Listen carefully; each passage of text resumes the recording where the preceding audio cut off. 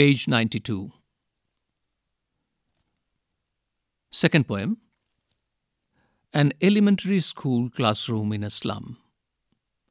About the poet Stephen Spender, who lived between 1909 and 1995, was an English poet and an essayist.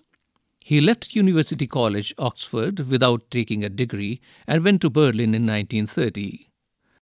Spender took a keen interest in politics and declared himself to be a socialist and pacifist. And declared himself to be a socialist and pacifist.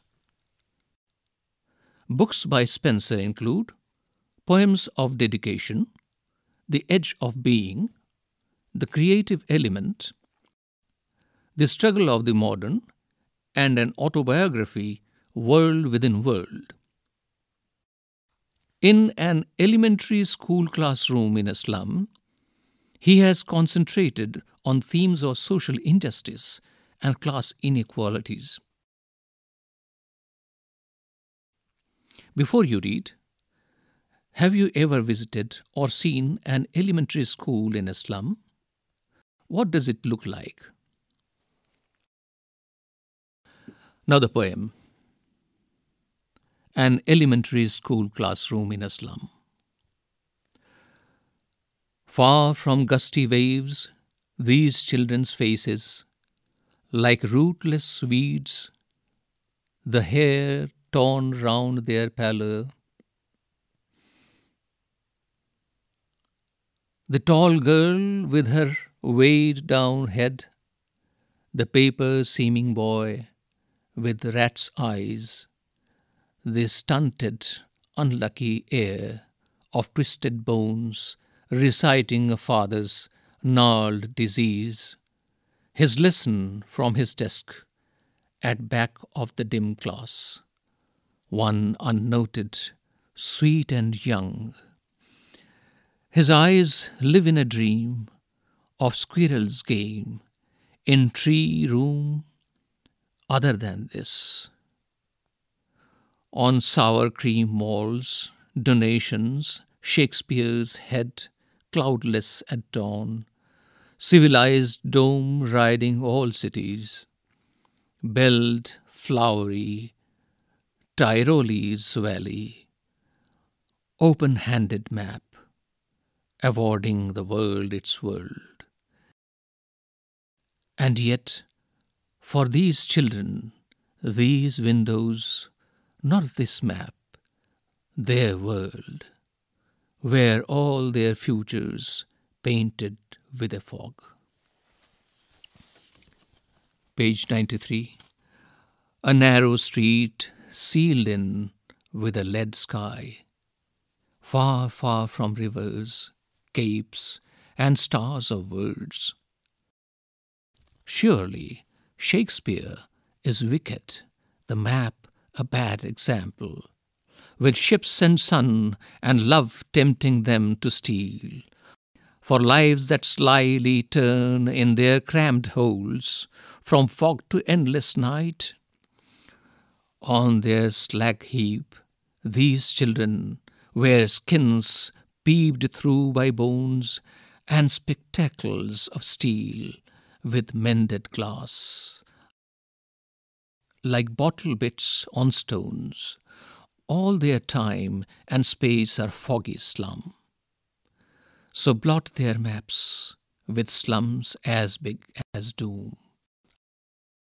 Unless governor, inspector, visitor this map becomes their window, and these windows that shut upon their lives like catacombs.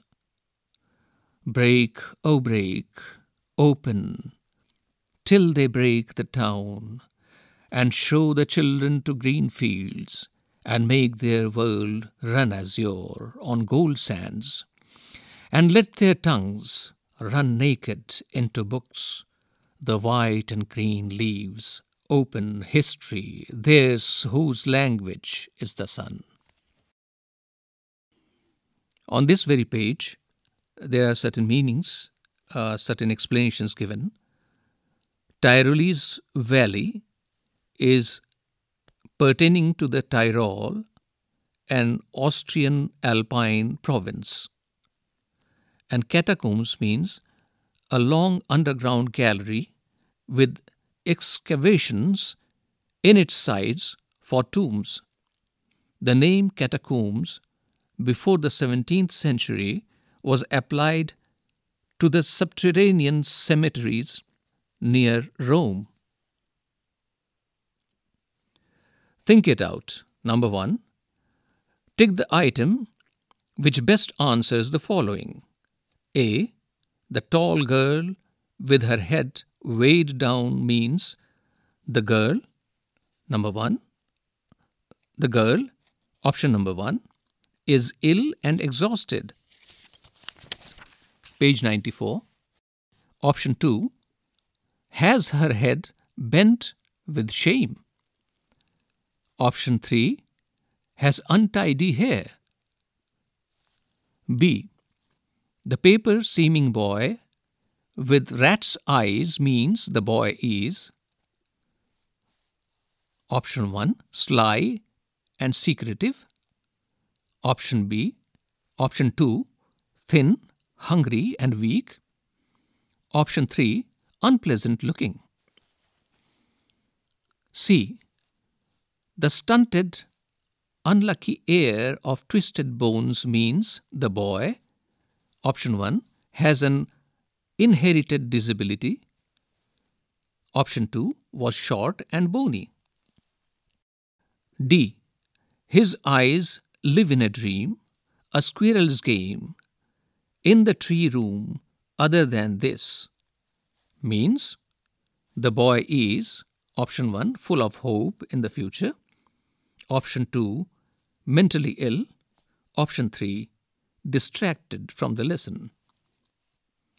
E. The children's faces are compared to rootless weeds this means they, option 1, are insecure, option 2, are ill fed, option 3, are wasters.